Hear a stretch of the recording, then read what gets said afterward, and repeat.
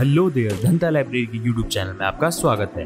आज मैं आपके लिए एक और वीडियो लेके आ गया हूँ, जिसमें मैं आपको विंडोज़ 10 के स्टोरेज सेंस फीचर के बारे में बताने वाला हूँ। तो बिना किसी देरी के आइए देखते हैं।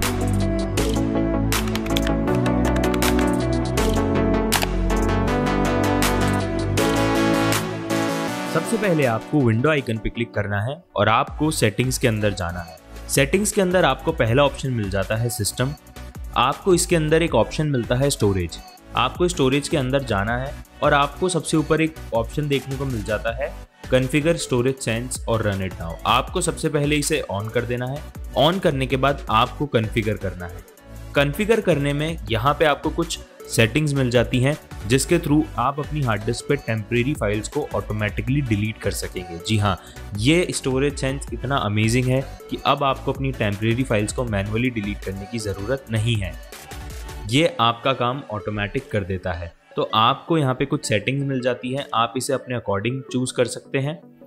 उसके बाद आपको डिलीट टेम्प्रेरी फाइल्स के लिए सेटिंग्स मिल जाती हैं। यहाँ पे आपको डाउनलोड फोल्डर को डिलीट करने की सेटिंग मिल जाती है और आपको क्लीन नाउ का ऑप्शन भी मिल जाता है।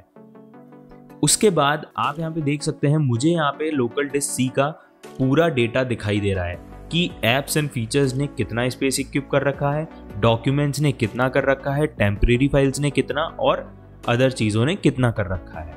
आप यहाँ पे मोर कैटेगरीज भी देख सकते हैं और फ्यूअर भी कर सकते हैं। It's all up to you तो यहाँ पे आप टेम्परेरी फाइल्स पे क्लिक करके इन्हें सिंपली डिलीट कर सकते हैं।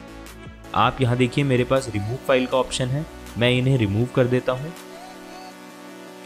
आपको एक चीज़ का ध्यान रखना है कि रिमूव करते टाइम आप डाउनलोड पे क्लिक ना कर दें। अगर आप इस पर क्लिक कर देते हैं तो आपका सारा डाउनलोडेड डेटा डिलीट हो जाएगा। तो आपको इस चीज़ का मेक श्योर sure करना है कि आपको क्या डिलीट करना है और क्या नहीं। उसके बाद आपको नीचे कुछ और सेटिंग्स मिल जाती हैं। View storage usage on other drives आप अपनी बाकी हार्ड डिस्क का भी, बाकी पार्टीशंस का भी स्टोरेज देख सकते हैं।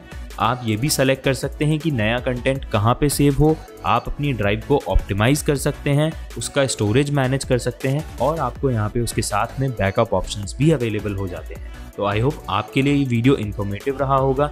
ऐसे और इन्फॉर्मेटिव टिप्स एंड ट्रिक्स के लिए हमारे यूट्यूब चैनल को सब्सक्राइब करें and don't forget to press the notification bell icon thanks for watching